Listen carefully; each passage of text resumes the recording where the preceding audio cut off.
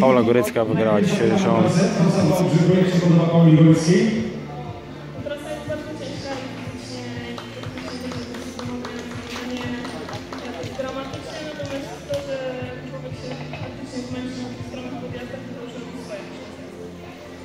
Paula, teraz drugie pytanie, bo oczywiście cały czas gdzieś tam było te 8, 10, 12, 13 sekund.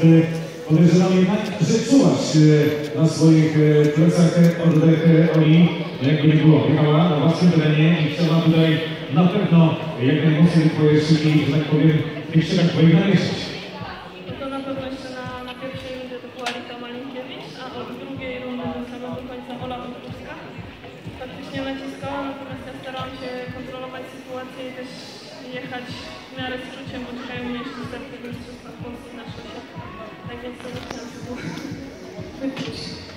No tym bardziej, że jednak Paweł Gryzka uważa po tej przerwie spowodowanie kontuzją. No i właśnie to pytanie teraz do Ciebie, czy ten uraz już, że tak powiem, całkiem za Tobą, czy gdzieś tam jednak w głowie jeszcze troszkę uraz jest?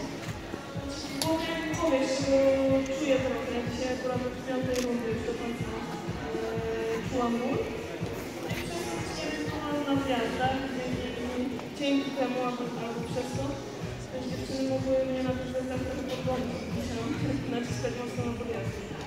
Paula, jeszcze jedno pytanie, bo w tym momencie dokładnie wygląda sytuacja, jeśli chodzi o mistrzostwa w Czechach, ponieważ jak wiemy, no, nie było tych startów, więc mam rozumieć, że skutecznie na mistrzostwach Polski na szosie, a nowe miasto?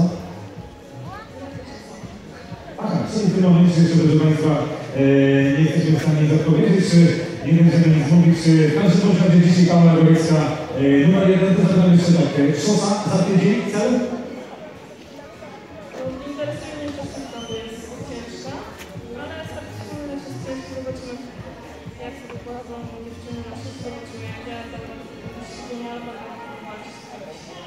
Z Dziękuję uprzejmie.